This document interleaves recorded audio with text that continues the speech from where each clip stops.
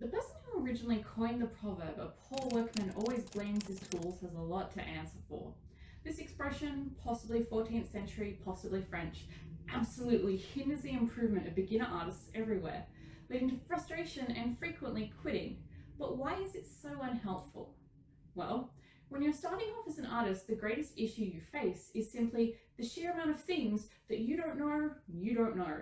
That is, your lack of knowledge and experience means you don't question whether a particular tool is functioning as intended or not. And starting out as an artist is extremely difficult. You need to get over the hump of insecurity that comes with not being good at something while also striving to bring your own very personal vision to life. The thing about creating art is that it forces you to reckon with yourself as a person, even if you don't realize it. And this is huge extremely worthwhile, but it's also challenging and often draining. And this is where your tools or your materials matter. As a beginner artist, you have no way of telling whether your paints, brushes, or surfaces are misbehaving because you lack skill or because the materials themselves are just bad. Story time. In the past, I struggled with this paintbrush. It likes to dump out half of its load of water the second it touches the paper. It makes a big puddly mess. Of course, in my ignorance, I just assumed that it was my fault for somehow loading the brush wrong, rather than the brush just being bad. I didn't blame my tools. What was I? A poor workman? So I struggled with that brush for months before stumbling upon a YouTube video comparing it with other more expensive brushes where the reviewer commented on the exact issue I'd been having the entire time. But if I had, instead, just decided to blame my tools and buy a different brush, maybe I wouldn't have been so frustrated. But what do you do when you don't have Scrooge McDuck levels of wealth for art supplies? Many beginners tend to buy materials at the cheaper end of the scale, which makes sense. If you don't know whether you're going to enjoy something, it's not necessarily a good idea to spend a chunk of change on materials that just go to waste. The irony is that cheap materials often lead to subpar results, and then you quit anyway. So, how do you solve this?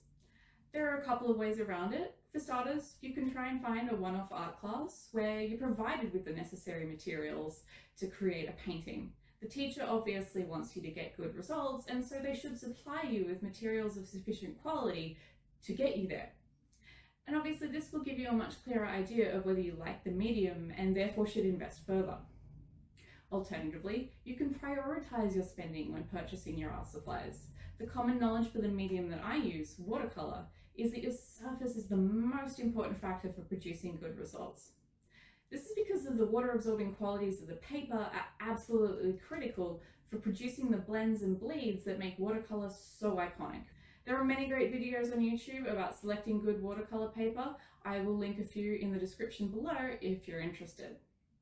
Of course, the astute amongst you will note that you'll burn through paper much faster than you do the paint or the brushes, which will make the cost build up regardless. So what can you do about that? Paint smaller. I typically divide my sheets down the middle. Sometimes I quarter them. For watercolour, it also makes it easier to control the water and you get less uneven drying. If you're just practicing, paper has two sides. Use the back. For other media, make sure you do some research into the importance of each component so you can prioritize effectively. Painting comes with an extremely steep learning curve. There are so many terms and techniques that you need to learn if you want to start creating art you actually enjoy. Creating art puts us in a vulnerable position, which makes us more likely to blame ourselves if something isn't working. But if the problem is simply that the materials are bad, no amount of beating up on ourselves will fix the problem. Time you find a technique just is not working, stop for a moment and consider the possibility that you should, in fact, blame your tools.